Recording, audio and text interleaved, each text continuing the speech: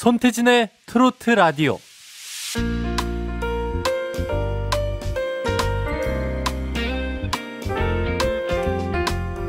재미 하나도 없고 힘들기만 한데 저걸 왜 일부러 할까? 어릴 때 정말 이해 안 되는 게 걷기였죠. 도대체 산책이란 걸 왜 할까?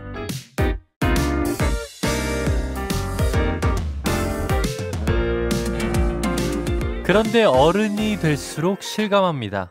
걸으면 마음이 안정되고 생각도 정리되고 가끔 재밌는 아이디어도 떠오르고 아, 이래서 저렇게들 줄줄이 걷는구나. 갑자기 날이 서늘해져서 문득 조바심이 납니다. 이거 뭐야?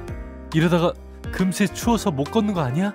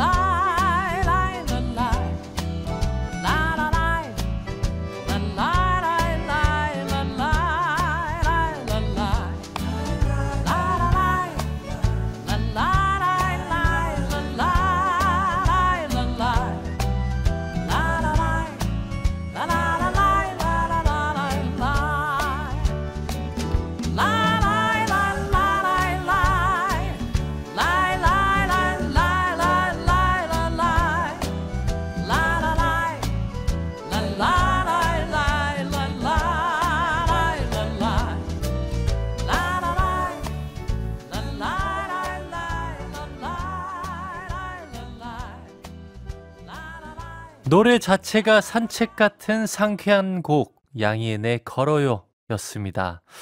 나는 걸을 때만 명상에 잠긴다. 걸음을 멈추면 생각도 멈춘다. 철학자 루소가 한 말이라는데 수많은 철학자, 작가, 작곡가들이 산책을 즐겼다는 얘기가 어릴 때는 정말 와닿지가 않잖아요. 근데 건강에도 좋다고 해서 다들 하라고 해서 걸어보면 아, 이래서 그랬구나 하면서 이해가 되는 것 같습니다. 어, 오늘 어, 우리 손트레 가족들 걷고 계신 분들 유독 많은 것 같은데 6017님께서 가을에 좋은 점 걸을 수 있다. 그동안 너무 더웠잖아요. 맞아요. 지금은 야외에서 뭘 해도 가장 완벽한 날씨가 아닐까 생각하고 우리 967님께서 요즘 출퇴근은 걸어서 다닙니다. 집에서 20분 정도 거리인데요. 걷는 동안 이런저런 생각하면 스트레스도 풀리고 피곤함도 잊게 돼요. 이렇게 출근하면서 20분 동안 걸으면서 몸도 풀리고 그리고 뭔가 아 오늘 해야 될 것도 조금 더 선명해지면서 하, 출발하고 또 퇴근할 때는 아 오늘 뭘 했는지 아 다시 딱 정리하면서 아 되게 이 걷는 시간이 때로는 어 조금 다른 생각 안 하고 더 나만의 시간 그리고 집중할 수 있는 아주 좋은 시간으로 쓰여지는 것 같아요. 차도 없고 기차도 비행기도 오토바이 뭐 자전거도 없던 수만 수천 년을 어, 인간은 걸었다. 그래서 우리 몸과 마음이 걷는 걸 좋아한다는 얘기도 있고요. 뭐 어쨌거나 이젠 날씨가 확 변하면 아마 바로 이 생각부터 들 것 같습니다. 아, 이러고 있을 때가 아니다. 어, 이왕이면 손태진의 트로트 라디오 들으면서 걸을 수 있을 때 걸어야 되겠다.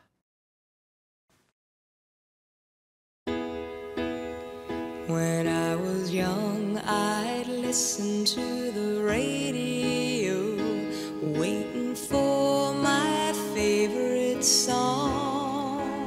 우리 손테라 가족들 요즘 어떻게 지내시나요? 한번 여쭤봤습니다.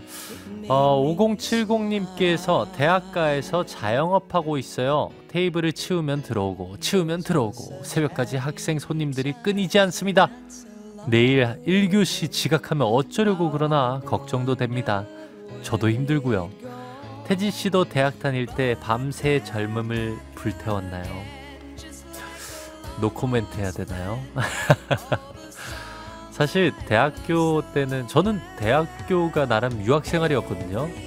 근데 그때 이 한국 문화 그리고 이 선배들께 맨날 불려다니면서 특히 제가 그 기숙사 생활을 했기 때문에 기숙사 혹은 학교 근처에 사는 친구들은 그냥 선배들의 전화 한 통이면 달려갔었어야 돼요. 예. 집도 뭔가 아지트가 되고 기숙사도 아지트가 돼버리고 아 그래서 다시 도로 본가로 갔습니다. 네. 거기까지 TMI였고요. 우리 0468, 아, 0469님께서 발을 다쳐 깁스를 했어요. 결혼 43년 만에 신랑한테 심부름 시켜요. 그래도 되겠죠? 입만 움직이는 것도 힘들어요. 입 잠깐 쉬고 손가락으로 사연 보내요. 박상민 중년 신청해요. 43년 만에 심부름 시킨다니, 에이, 많이 시키세요. 앞으로. 어허, 이제 받아, 받으셔야 될 사랑이 얼마나 많겠어요, 그러면. 네, 괜찮습니다. 아무것도 하지 말고 그냥 막 시키세요. 그 이후에 어떻게 되는지는 또 사연으로 보냈어요. 4244님께서 친정아버지 93번째 생신에 깜짝 이벤트로 8살짜리 증손녀가 아무도 몰래 2시간 거리를 달려와 기절할 뻔했습니다. 4대가 모인 이벤트에 증조 할아버지는 입을 못 다무시고 원기 회복하는 축하 파티였답니다. 신청곡은 제가 아버지 회갑 때 불러드린 아빠의 청춘 부탁해요. 요새는 4대가 모이는 가족이 많지가 않죠. 그만큼 너무 더 특별하게 느껴졌을 것 같은데 아마 우리 증조 할아버지 어, 친정 아버지께서는 너무 가장 행복한 순간 중에 하나가 아니었을까 생각합니다. 앞으로 자주 그런 모임 가지시길 바라면서 오늘 여기는 사는 재미 노래하는 재미가 있는 손태진의 트로트 라디오고요. 노래하는 재미는 뭐 제가 알려드릴까 합니다. 여러분들은 사는 재미 얼른 보내주세요.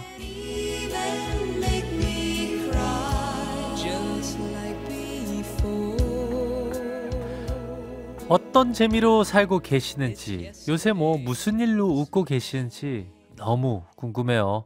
나를 기쁘게 하는 소소한 일들이나 또 반대로 좀 성가시고 걱정되는 일들 모두 나눠주세요. 뭐 사소한 것도 좋습니다. 제가 오늘 오는데 내 앞에 뭐 버스 자리, 빈 자리가 갑자기 생겼다. 내가 어디 갈 때마다 빨간불이 초록불로 바뀐다. 뭐 그런 소소한 재미거리 뭐가 됐든 아 어디로 보내시면 되는지 문자번호 샵 8001번이고요. 짧은 건 50원, 긴 건 100원, 스마트 라디오 미니는 무료입니다. 그리고 물론 사연 보내실 때는 손트라가 아시잖아요. 고품격 음악 방송인 거 잊지 마시고 듣고 싶은 노래, 좋아하는 트로트도 하나씩 붙여주시면 저희가 최대한 다 들려드리도록 할게요. 사연이 소개된 모든 분들에게는 모든 감정들 좀 시원하게 배출하시라고 배출, 배출, 배, 배, 배추, 배추 김치 세트. 이렇게 아주 자연스러운 연결과 함께 보내드리도록 하겠습니다. 예, 이제는 좀 뻔뻔하게 하려고요. 어, 신랑이 이제 심부름꾼이 된 우리 0469님의 신청곡 박상민의 중년 한번 함께 들으시죠.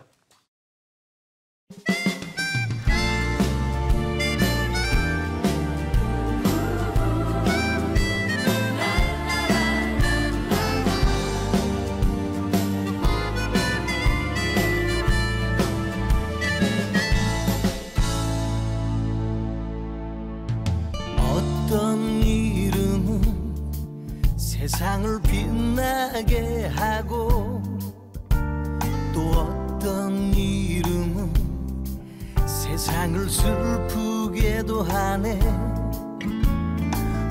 우리가 살았던 시간은 되돌릴 수 없듯이 세월은 그렇게 내 나이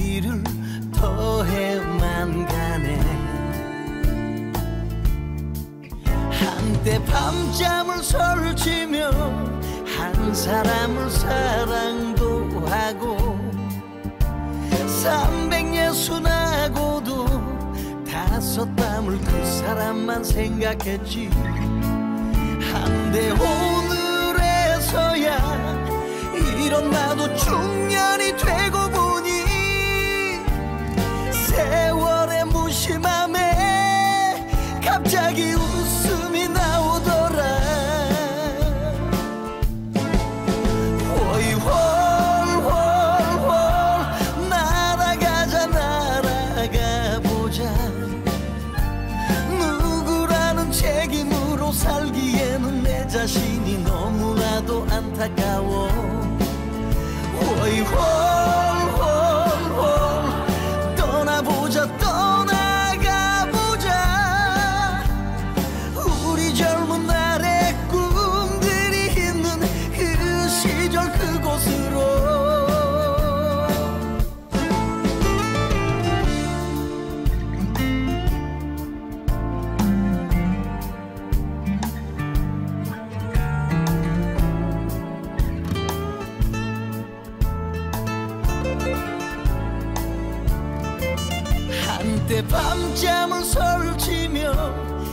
한 사람을 사랑도 하고 삼백예순하고도 다섯 밤을 그 사람만 생각했지. 한데 오늘에서야 이런 나도 중년이 되고 보니 세월의 무심함에 갑자기 웃음이 나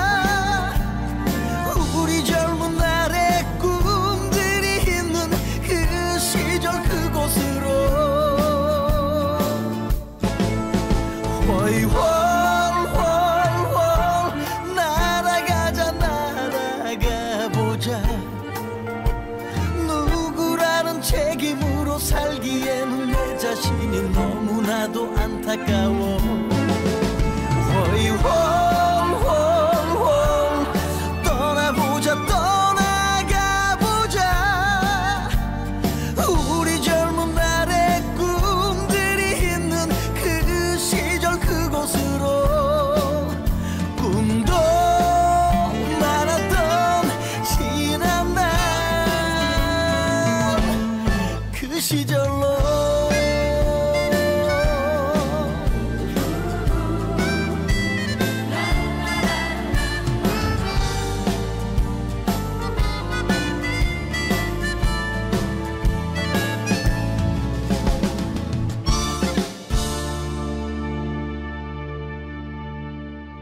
박상민의 중년 듣고 오셨습니다. 여기는 손태진의 트로트 라디오고요.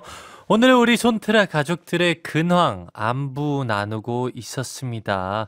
여러분들께 요새 또 어떤 재미로 살고 계시는지 아 뭐 최근에 좀 웃을 만한 일이 있으셨는지 좀 어, 얘기 나누고 있었는데 또 이렇게 문자 소, 사연 소개해 드릴게요. 2073님께서 저는 건물 미화 일을 합니다.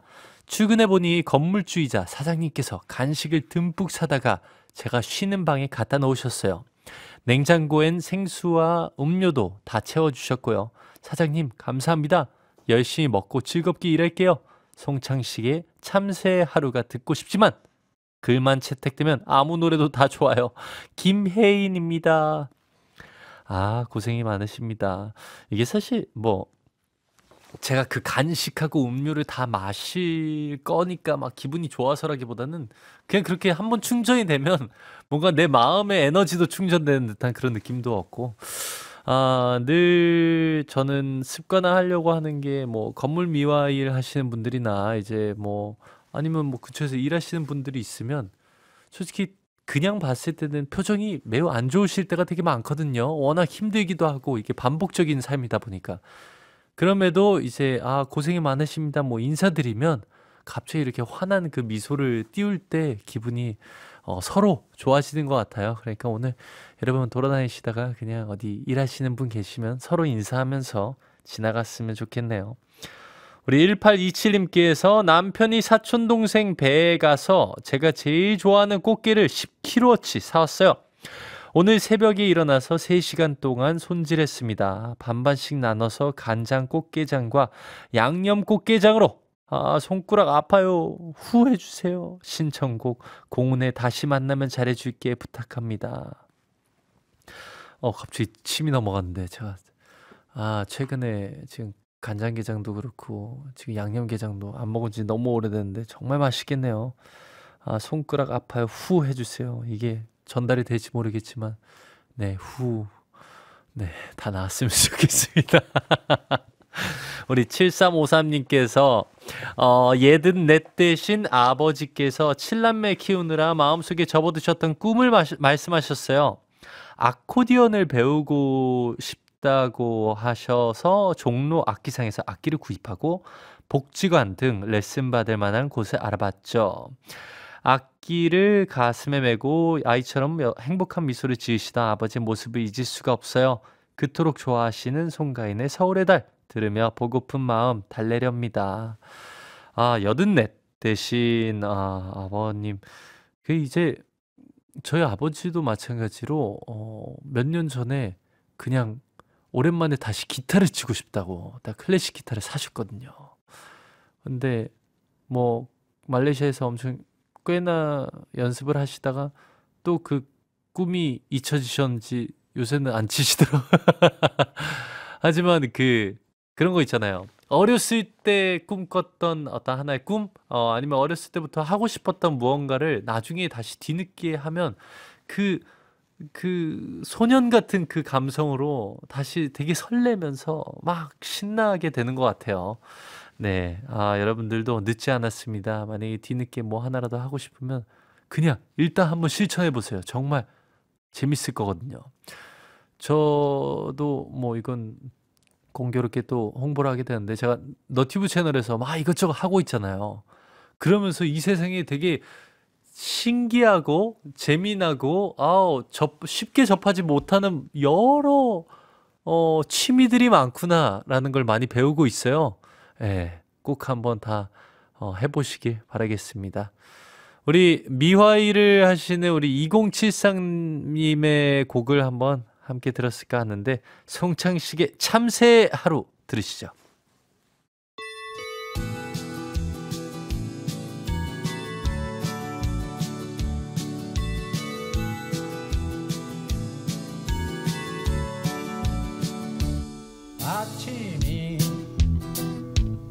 밝는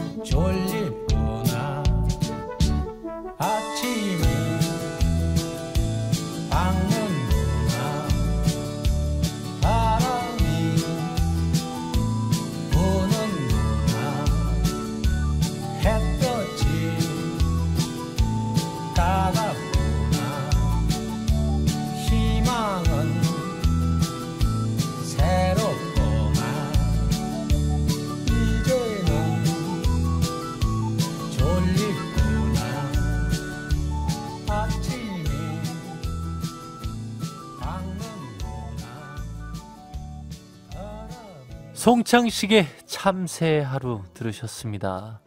아, 이 곡 들으면서 저도 되게 오랜만에 듣는 것 같은데, 아, 지금 다시 들어보니까 노래가 참 순수하고 아주 깨끗하면서 얼마나 편해요. 그냥 이렇게 생각하면. 뭐, 물 한 모금 마시고 제잘되고 그러다가 아이고 햇볕이 뜨겁네 들어가야지 들어갔다가 다시 나왔다가 뭐 이제는 마지막에 아예 졸립구나 이러면서 졸리면 자고 이 참새가 되고 싶네요. 잠시 동안. 아, 여러분들께서 지금 손태진의 트로트 라디오와 함께하고 계시고요.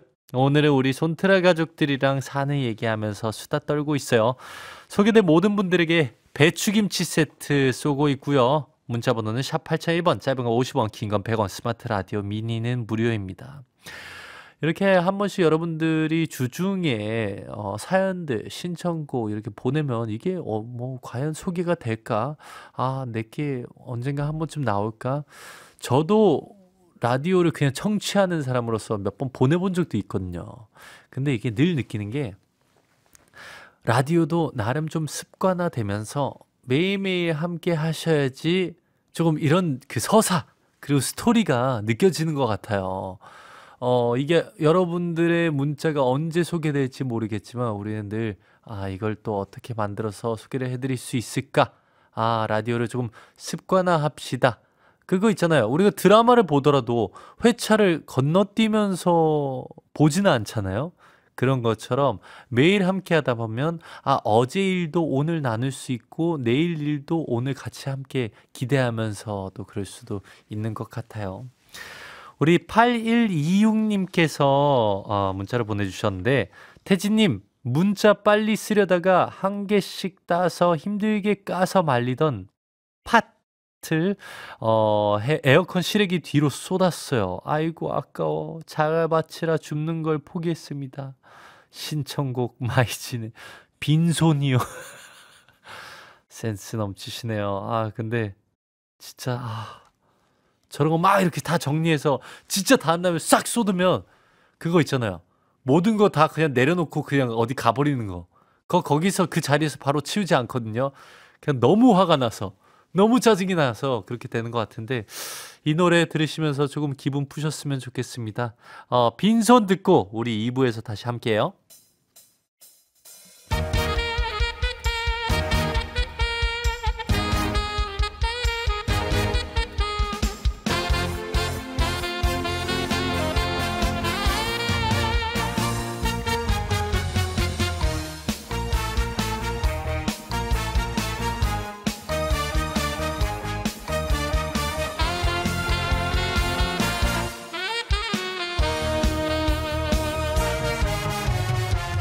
머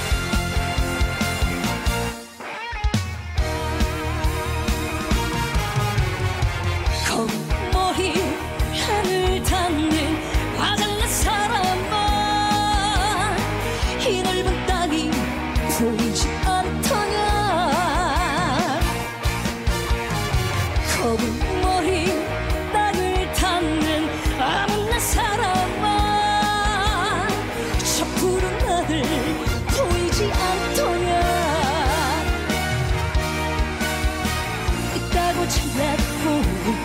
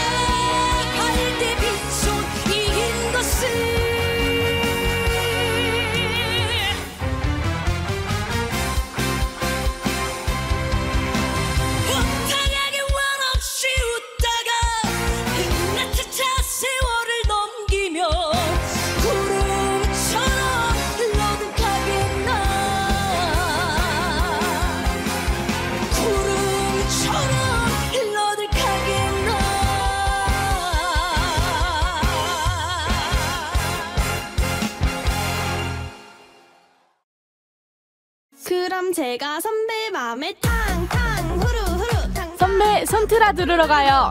그래 가자. 그럼 손트라가 여러분 마음에 탕탕 후루후루 탕탕 후루루루루루. 여러분은 지금 탕후루보다 달콤한 손태진의 트로트 라디오를 듣고 계십니다. 저는 전유진입니다. 손태진의 트로트 라디오와 함께하고 계십니다. 오늘의 일상 이야기 아, 나누고 있는데 오늘 사연이 소개된 모든 분들에게 저희가 또 배추 김치 세트 보내드리고 있습니다. 계속해서 사연들 보내주시면 감사하겠습니다. 문자 번호는 샵 8001번, 짧은 건 50원, 긴 건 100원, 스마트 라디오 미니는 무료입니다. 우리 239 하나님께서 무슨 일이 있었나 봅니다. 서른 넘은 아들만 둘 있습니다. 며칠 전 아내 환갑날 퇴근해 집에 왔더니 공기가 싸늘. 저는 영문도 모르고 아내한테 혼났습니다. 제가 없는 사이 무슨 일이 있었냐면요. 하면서 문자, 여기서 끝난 거예요? 이거는 너무 낚시 아닌가요? 이거 연락 안 하면 이거 혼낼 거야 이런 느낌 아니에요? 음.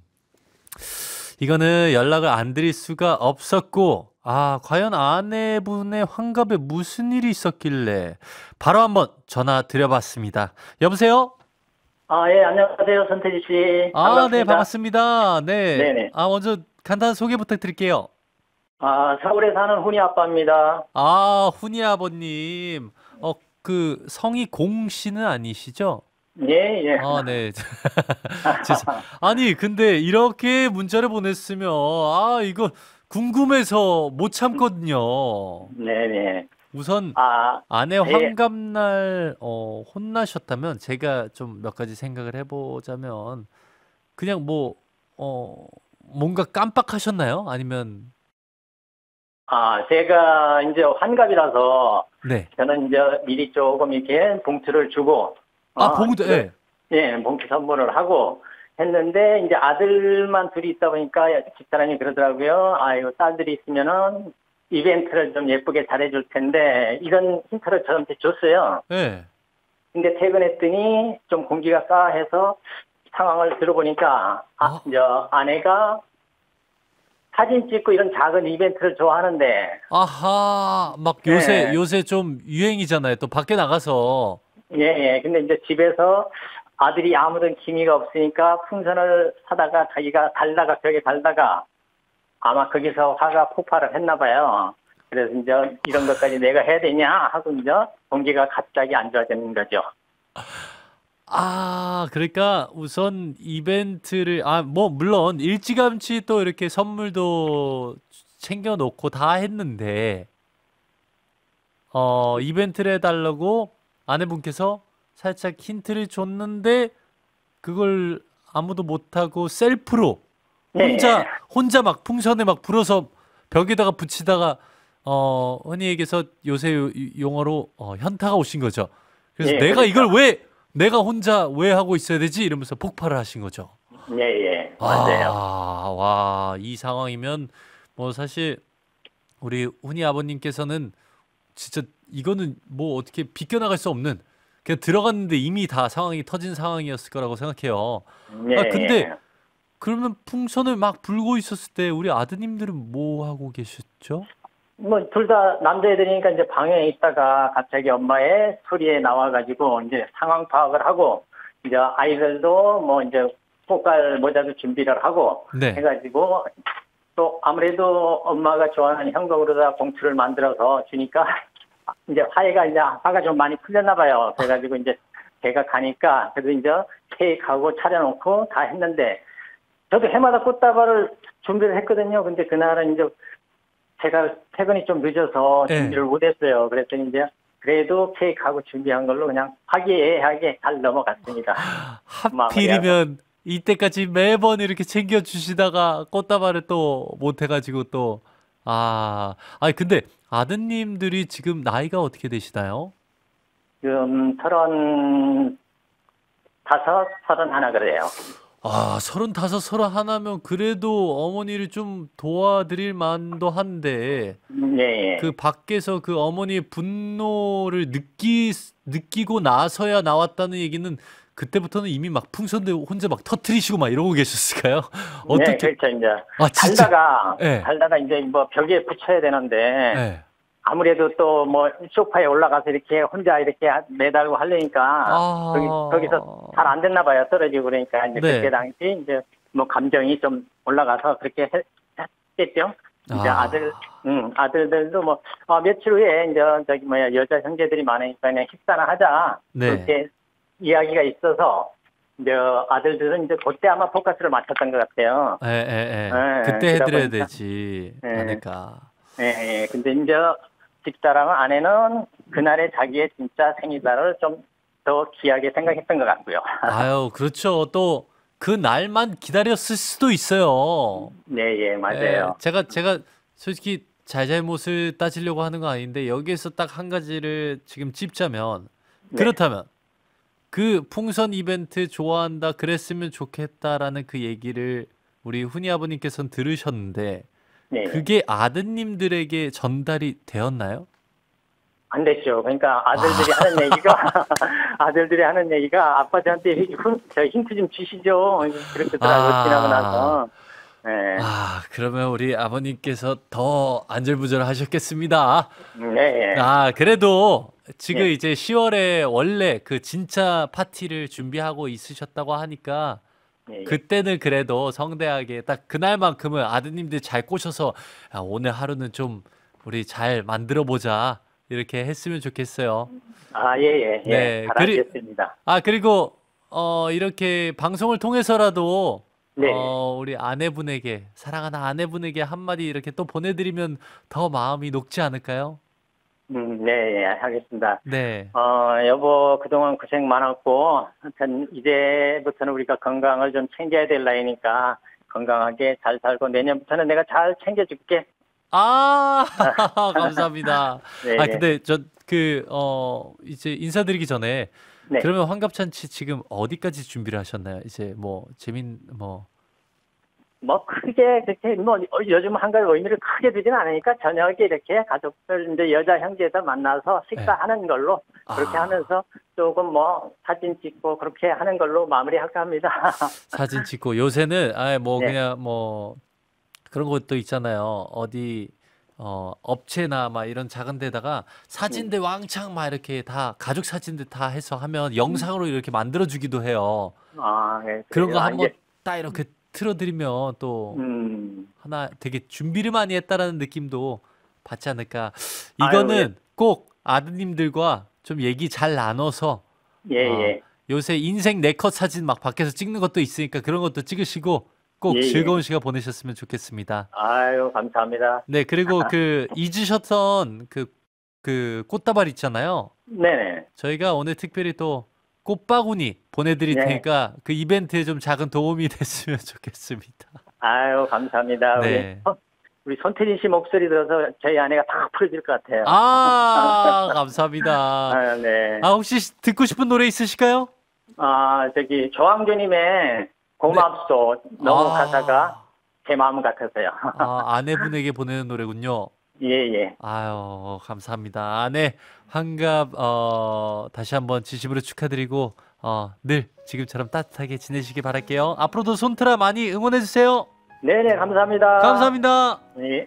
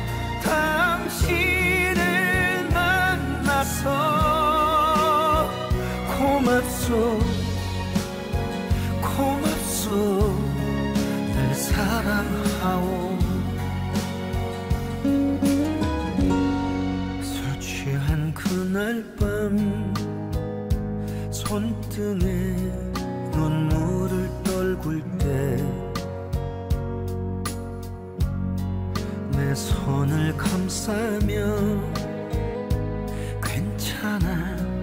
울어준 사람. 세상이 등져도 나라서 함께 할 거라고. 등 뒤에 번지던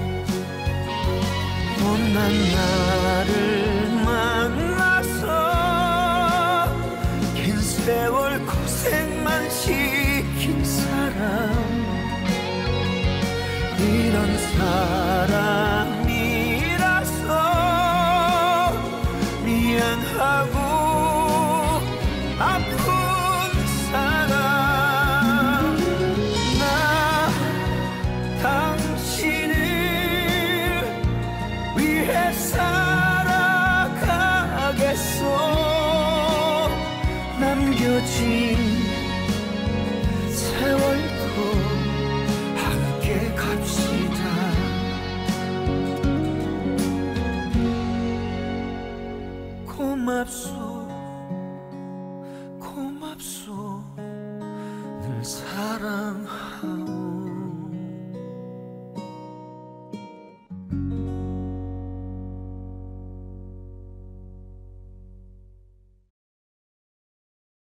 방금 우리가 또 아, 전화 연결로 함께한 훈이 아빠님의 신청곡 조항조의 고맙소였습니다.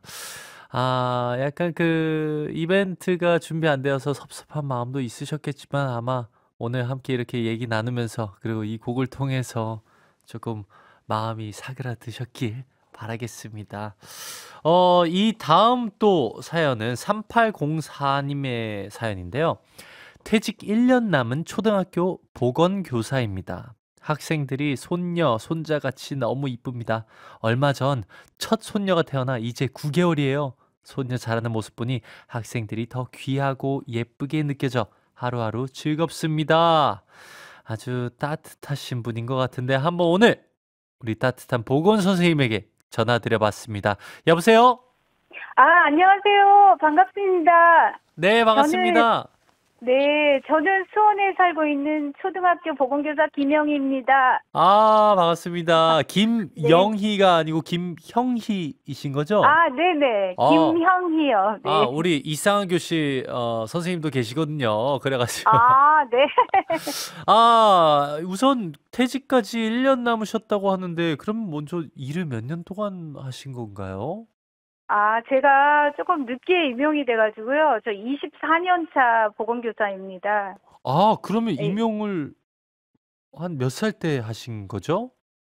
어, 제가 병원 생활하고 살림하면서 집에 있다가 네. 제 나이 또래 선생님보다는 한 10년 늦게 교직에 들어왔어요. 아, 그러셨구나. 네, 조금 늦어가지고 조금 이렇게 24년 차는 이제 사실은 제가 좀 늦은 거죠. 네, 아예 뭐 그래도 어 네. 뒤늦게나마 또 나의 꿈을 위해서 이렇게 또 도전하신 거니까.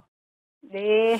근데 그 시험은 뭐 어떻게 그래서 그, 그 당시 잘 뒤늦게 어떻게 하다가 준비를 하셨고 뭐 한 번에 붙으셨나요? 아니요. 아, 제 친구들은 보면 이제 순위고사로 다 들어왔거든요. 근데 네. 저부터는 세상에 주관식 임용고사로 바뀌었더라고요. 아하, 하필. 어, 네. 네, 그래서 사실은 첫해 사실은 거의 좀 될 뻔 했는데 떨어져가지고 3년 만에 임용고사에 합격을 했어요. 3년 만에, 예. 그래서 와. 첫 해는 이제 해가 나서 좀 포기를 하고 있다가 네. 이게 해마다 10월이 되면 찬바람이 불잖아요. 그렇죠. 그럼 그때 마음이 막 흔들려서 열심히 공부했던 게 너무 아깝고 아. 아, 그래서 한번 다시 도전해 보자. 그래서 사실은 10월 달부터 독서실에서, 어, 태진님은 잘 모르겠지만, 그 모나미 볼펜이라고 있어요. 저 네. 알죠. 왜, 왜, 아, 왜. 아세요? 검, 검은색, 네. 흰색. 어. 네, 네. 그래서 검은색하고 파란색 그 모나미 볼펜이 있는데 하루에 한 자루를 다 쓰지 않으면 그 주관식 임용고사에 떨어진다는 그런 와. 설이 있는데 정말 제가 10월 달부터는 하루에 한 자루씩 이 손이 세 번째 손가락이 짓물렀어요. 아. 그래서 그렇게 써가면서 진짜 어렵게 어렵게 늦깎이로 임용고사에 합격을 했습니다. 와, 볼, 그 볼펜은 사실 끝까지 다 써서 저는 버린 적이 없고 너무 안 써가지고 이게 말라가지고 안 나와가지고 버린 적이 있는데 대단하십니다. 맞아요. 아유, 지금은 못할 것 같아요. 지금은 아, 그래도, 제가 예. 예. 아, 그때였으니까 또 가능한 일이 있었고 지금이기에 또 가능한 다른 일이 있으실 거예요.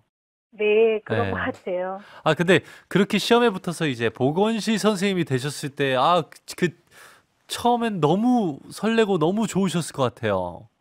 그럼요. 온 하늘이 제 것 같았어요. 아, 아니, 저는 늘 궁금한 게, 이제 네네. 요새는 또 이제 초등 어, 보건 교사로서 어떤 네네. 역할을 지금 하고 계시는지 또 소개를 해주시면 좋을 것 같아요. 예, 근데 보건실에는 보통 아픈 사람들이 많이 오긴 하지만 네. 저희 보건실은 보통 이제 공부하기 싫고 교실에 들어가기 싫은 개구장이들이 사실은 많죠. 많이 오거든요. 네. 네, 네. 그래서 운동장이나 막 복도 같은 데서는 막 맹렬하게 막 뛰어다니면서 보건실만 오면 온갖 나쁜 표정 다 아. 가져가지고 배를 부둥켜 안고 들어와요. 그래서 딱 보면 매일매일 오는 학생들이니까 아, 저 녀석 저거 깨병이구나 이렇게 생각을 하고 있어요. 네. 그래서 어, 여기 좀 이따가 갈래? 그러면 어 아프다 그러더라고요. 막 아, 그래서 그 학생들을 위해서 어 저는 사실은 그 젤리 영양제 같은 거를 한 포씩 정성스럽게 싸가지고 통에다 넣어놔요. 네. 그래서 이거를 갖다가 한 포 주면 어떠니? 그러면 선생님 너무 안 아파요. 그러면서 막 뛰어서 막 나- 보건실 나가거든요. 네.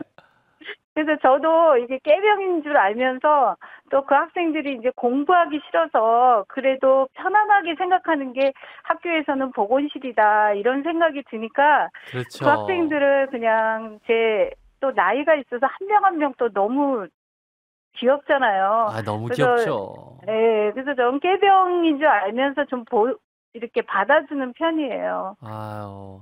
아니, 그런 친구들 때문에, 그런 꾀병 부리는 친구들 때문에, 진짜 아픈 친구들이 때로는 꾀병이라고 이렇게 얘기 들을 때도 있어요.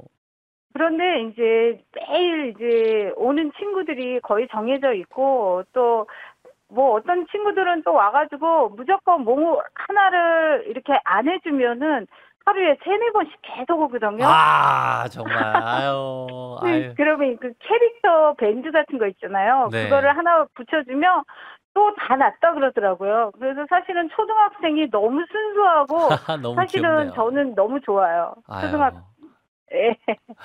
아, 그래도 이제 1년 남으셨을 텐데, 아, 남아서 조금, 어, 기분도 막, 여- 여러 가지, 어, 감정들이 교차할 것 같은데, 어, 조금 아쉬운 마음 담아서 혹시 한마디 뭐 방송 통해서 하고 싶은 얘기 있으실까요?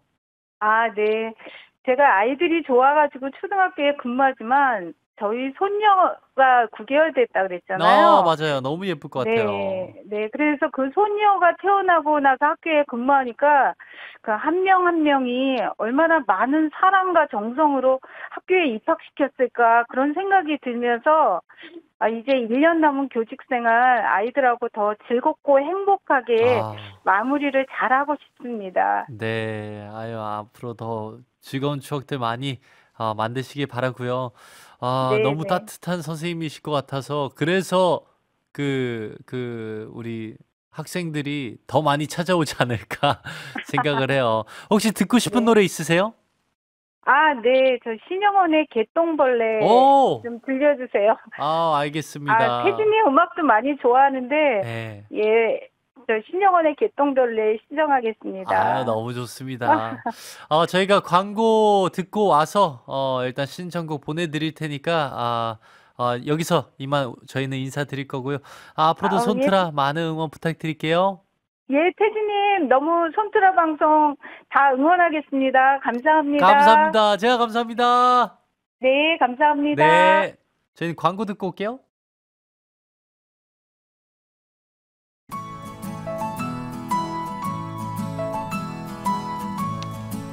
여러분들은 손태진의 트로트 라디오와 함께하고 계십니다. 오늘은 개천절. 당군 할아버지도 뿌듯하게 들을 것만 같은 시간. 우리 이제 3, 4부에는 곧 있으면 목요일의 남자 박구윤 씨와 함께 아 모르는 사람 둘이서 파티 열어봅니다. 한 분도 빠지지 말고 3부에도 함께 해요. 우리 뉴스까지 듣고 1시 5분에 돌아올 테니까 아, 우리 이 노래도 듣고 오시죠. 김형희 님의 신청곡 신영원의 개똥벌레 듣고 올게요. 이따 봐요.